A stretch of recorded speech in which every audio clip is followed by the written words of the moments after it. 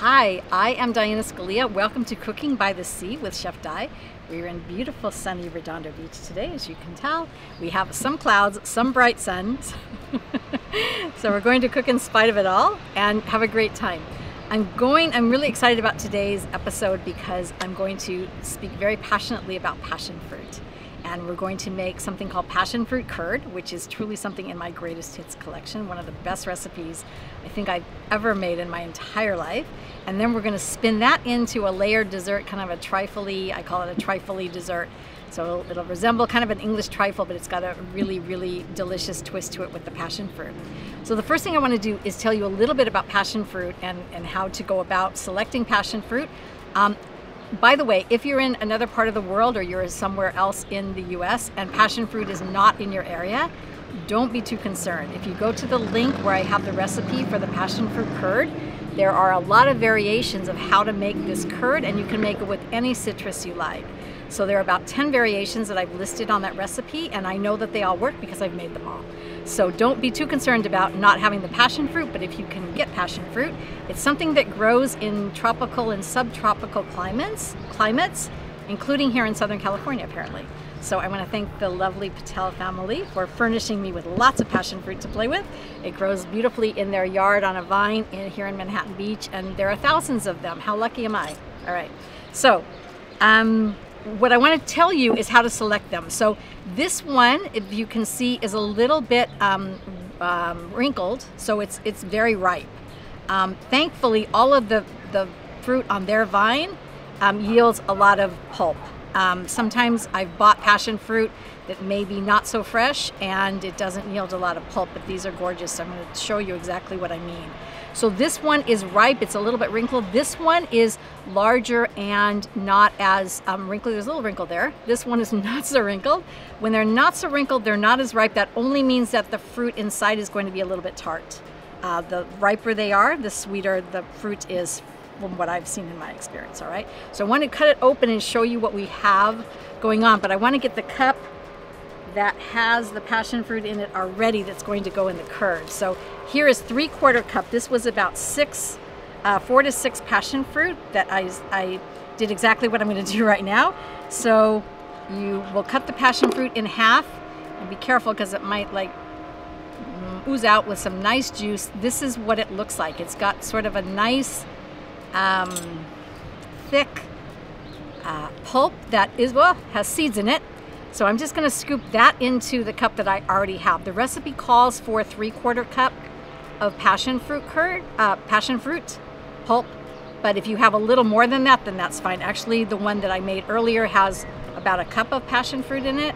And it is um, a little, uh, not, it's not as sweet um, because I, it, you'll see. I added only so much sugar. So here is our passion fruit that's going to go in our curd. I'm going to get everything lined up over here. Hi, we're back. There was a little technical difficulty earlier, so we're ready to go with our um, passion fruit curd.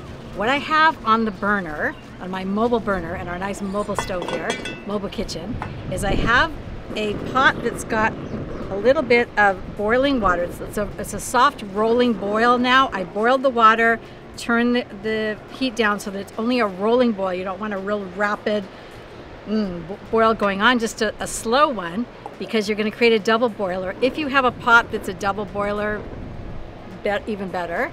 But this is how I do a make do double boiler. And what we're going to do is in the um, in the bowl, we're going to mix the passion fruit curd. This is again up to one, one cup of passion fruit curd. If you're doing it with another citrus, you're following the recipe for another citrus, the proportion is going to be a little bit different. So do, do, mention, do um, mention, um, find that. The next is, I had to wrap the sugar because we're up on the roof and the sugar, with the breeze, the sugar would have flown all over. So I have a half a cup of sugar. It's going to mix with that. I have a cube of butter, the equivalent of eight tablespoons of butter that's going to go in. And then two eggs. And what I'm gonna do, I'm gonna, I'm gonna beat the eggs a little bit. Hello. I'm gonna beat the eggs a little bit. before I add that to the mix. There's only these four ingredients in the um, fruit curd. If you're doing it with other citrus, you're going to have juice and zest. So the beaten eggs are going to go in here too. This looks like a little bit of a mess, but never mind.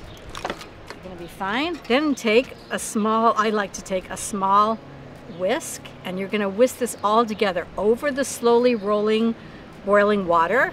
This is all going to turn into a beautiful, fragrant, um, creamy mixture. And what I'm going to do so that I don't keep you for that duration, we're going to take a quick break in the action here. I'm going to continue to cook this and we're going to come back when it's ready to take off the heat and strain into the fruit curd. All right, so I'll see you in just a bit. Hi, all right, so we cooked our passion fruit curd as directed on the stove top. Now it's thickened to this nice, luxurious, silky mix and the next step is to strain it. So you take a fine mesh strainer or a chinois if you have one of those. I don't have one of those, but um, this is already, you're going to notice how it already starts to look like passion fruit curd, but you're going to need to strain it because you don't want the seeds in it. So the way you do that is to simply, I stir it with a small spatula, you can use a big spatula or a spoon is fine. You're going to want to extract all of the creaminess from the seeds. And something that I want you to know is that you're welcome and I encourage to scrape what catches on the bottom of the sieve as well. All right, because you don't want to miss that. You're going to find that once you taste this, you don't want to miss any of this, any of this mixture. So you're going to do this until um, you have as much as you can possibly um, strain from this, from the top and from the bottom. And then what's left over is the seeds that are cooked in that butter, egg, and sugar. It's completely cooked. So what I do with that, put it in a little dish and I put it in my morning smoothie. Delicious. Let me promise you, that's gonna add a wow factor to your smoothie in the morning. So what you're going to do, I'm gonna go ahead and stop there. Um, this is pretty well strained. So what you do now is you let this cool on the countertop for about about 10 minutes because you don't want to I don't want I don't like to chill it when it's really hot. So let it cool a little bit. Place plastic wrap over it and let it chill at least up to 2 hours or so before you go to use it in a recipe or before you go to just use it as a spread for anything that you find in your home because you can do that and it's delicious. So when we come back, we're gonna have all of the components to make our passion fruit trifle dessert. So I'll see you in just a minute, all right? Hi, welcome back. So now we're going to be putting together four components that are going to be in my passion fruit trifle dessert. And the first is to take our gorgeous trifle, uh, I'm sorry, our gorgeous passion fruit curd that we made earlier. And I'm, I'm, going, to, I'm going to whisk it with um, eight ounces of mascarpone cheese, which is like Italian cream cheese. This is available at international markets. A lot of delis have this, like an Italian deli or an international deli will have this product. If you want to use regular cream cheese, that's fine too. So you use about eight ounces of that is going to be, this is almost gonna make like a custardy kind of filling. The way I um, got turned on to this is I was making my sister Lisa a passion fruit birthday cake. And this was the filling that went in the middle of the cake. It was delicious. And thankfully there was too much filling, so I had leftover. I had leftover and had to do something with it, so I shared it with my friends. I'm gonna add a little bit of vanilla, about a tablespoon of vanilla to this to give it a little more flavor. Whoa, a little more punch. What I'm gonna do is there's gonna be four levels of this. I'm gonna talk about the levels one by one. So here is our passion fruit mascarpone level. I'm going to set that aside and bring on some fruit because I've got fresh, gorgeous raspberries in here and white nectarine. It's one of my favorite fruit combinations and I think it's fun to learn about white nectarines because here in Southern California in October, there are still some of these that are, are in season And um, I want to in, instruct you a little bit about how to choose one. And I learned this from my darlings at Farm Fresh Produce at the original farmer's market. They taught me that when you choose a white nectarine, you want to look for one with a lot of spots because it's going to be much, much sweeter than otherwise. And so all I do is simply, do this over the bowl maybe, simply um, cut it down the center. These are kind of freestone, which is lovely. They twist right off from the, from the, uh, the, the pit. And I just slice it in very small slices, well, pieces to go into our mix. These taste like candy. If you get a great one that's ripe with spots on it, you will. It's gonna taste like candy in your in your breakfast, in your trifle dessert, whatever you've got to mix it into. So there's the fruit that's going to um, be part of this. Then I, uh, what I did earlier is I, I'm going to stand here and whip cream for you, and I don't know how the electricity still works here on our rooftop. Um, but we have um, eight ounces of whipped cream that has been an eight ounce carton of whipped cream that has been whipped with a little bit of um, powdered sugar and vanilla to give it a little bit of flavor. You can kind of see how that looks. It's These are like stiff peaks in the, in the whipped cream.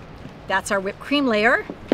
Now, let me tell you about speculoos cookies because we have a layer of speculoos cookies that are going in this. Speculoos cookies are hmm, one of my favorite treasures from Europe. They are from Belgium. They come um, in um, a box like this from Trader Joe's. This is the Trader Joe's version. You can also get these at international markets. A lot of um, yeah, a lot of international markets, whether they're French or Belgian or Western European at all, will have these kind of cookies. They look like this before I crush them up.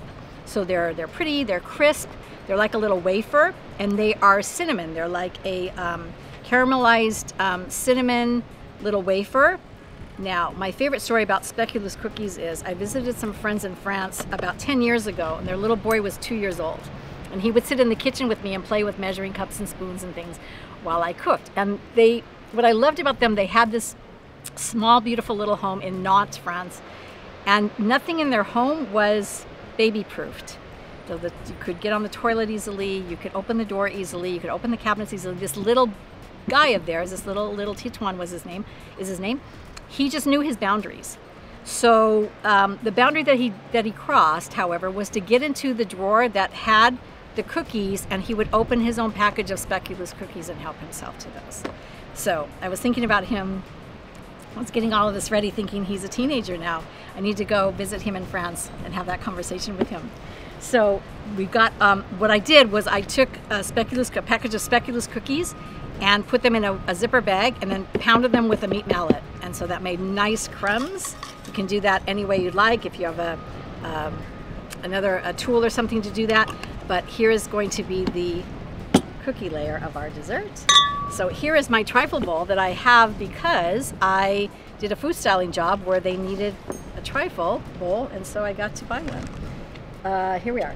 Here is all our components. We've got four components. So what I'm gonna do is I'm gonna stand on my tiptoes and pour in to begin some of the passion fruit mix. We're gonna make like two layers, so about half of that is gonna go in here. I'm going to put some of the fruit, let's see if I can mix that up. Put about half of the fruit. This might not feel, it might not do the whole bowl, but for ease of example here, I'm just gonna do it this way. And I'm gonna put about half of the whipped cream. This is going to be our dessert for lunchtime today. My team, I think, is going to really like this.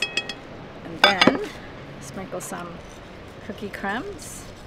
I also taught this, this recipe at a um, university in Guadalajara, Mexico, of all places. I taught a three-hour cooking lesson about four years ago in my best Spanish and I taught the students how to make this recipe. We made lemon curd that went with this instead of passion fruit curd and um, they all had a blast. And I look at how that's not working very well.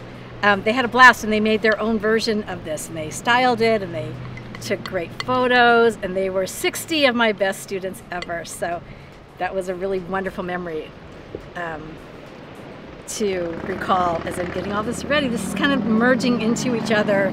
The layers are merging into each other, but once you chill this, it's going to be really fantastic. And it's going to look really, really pretty as well, which is very important. More whipped cream, and I'm going to top it with the speculoos cookies.